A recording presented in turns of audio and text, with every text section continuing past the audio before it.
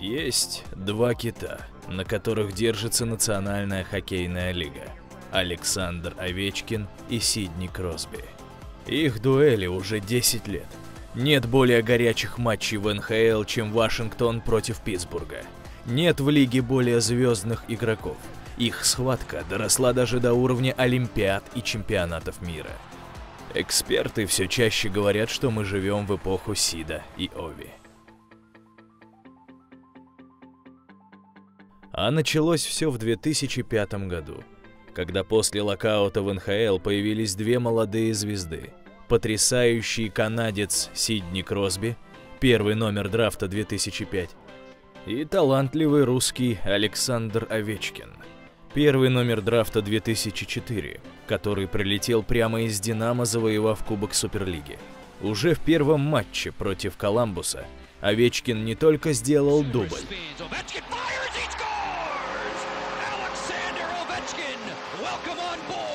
tried to saucer that one for Castles. Beer on why not. Leclerc the save. One more time he scores! Ovechkin! Но и применил такой хит против соперника, что вышиб им заградительное стекло. Отличная визитка для парня, который сразу стал одним из лучших силовых форвардов лиги. Кросби тоже не отставал. Первом же сезоне установил командные рекорды Питтсбурга для новичков по набранным очкам 102 и голевым передачам 63, обогнав даже Марио Лемье. Но Овечкин был лучше во всем. И в статистике, и в зрелищности. Его январская шайба в ворота Феникса и сейчас считается самым красивым голом НХЛ в 21 веке.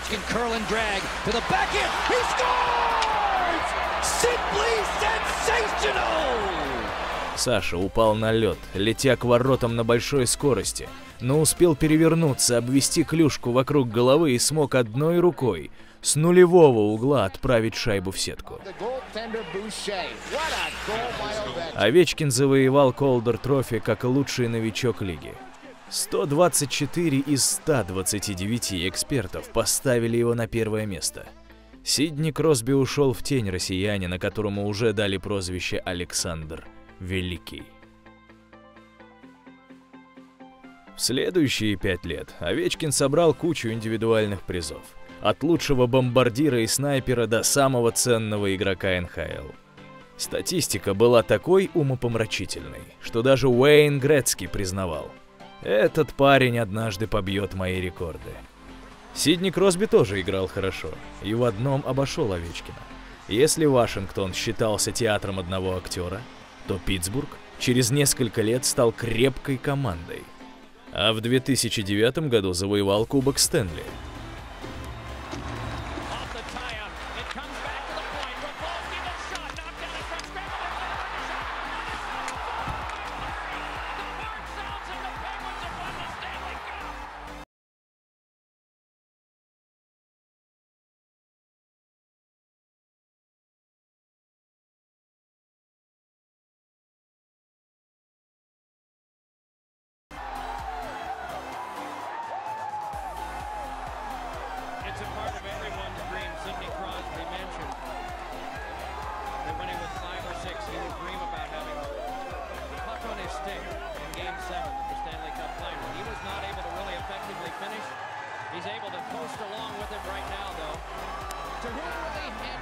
Командные победы. Вот чего нет у Овечкина, вот что есть у Кросби. Сборная Канады с его участием обыгрывала Россию еще на молодежном чемпионате мира 2005 года. И после того разгрома со счетом 1-6 Саша плакал как ребенок. Да он и был пацаном. Спустя пять лет возмужавшие и окрепшие Ови и Сид встретились в Ванкувере. За месяц до Олимпиады генеральный менеджер кленовых листьев Стив Айзерман сказал прямо «Россия – главный фаворит турнира. Ведь у нас нет такого фантастического игрока, как Овечкин». Но это оказалось коварной лестью. Сборная России не настроилась на четвертьфинал с Канадой и получила один из мощнейших ударов в своей истории. 3-7. Они выскочили на нас, как гориллы из клетки. сказал вратарь Илья Брызгалов о том кошмаре.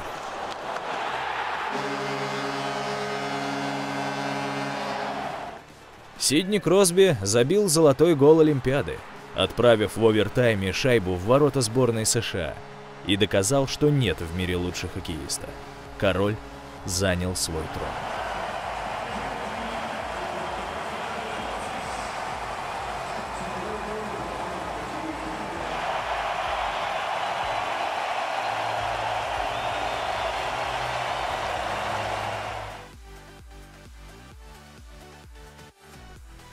Дальше с Александром Великим случилось то, что все называют Ванкуверским кризисом. Его статистика упала. Чемпионат мира 2011 года в Словакии был провален. Там Саша не набрал ни одного очка.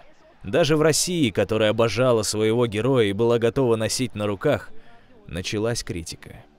А Вашингтон возглавил тренер Дейл Хантер, похожий на старого солдафона – он начал ставить Овечкина в третье звено, отправлять его в оборону. Игра Саши померкла, и он сам заскучал. Кросби тоже переживал тяжелый период. Когда в зимней классике получил локтем в голову от рабочей лошадки Вашингтона Дэвида Стекела. Тяжелейшее сотрясение мозга привело к тому, что Сид пропустил полтора сезона. На его карьере тоже были готовы поставить крест. А в НХЛ начали думать, Какие игроки станут новой афишей лиги? Где они, эти герои?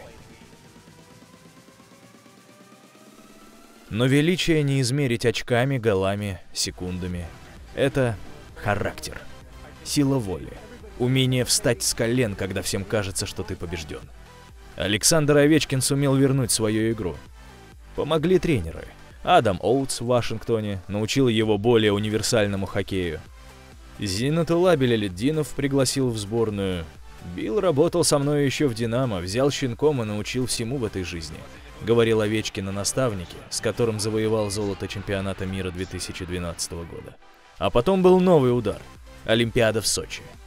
1-3 в четвертьфинале с финами. Унылая игра сборной России.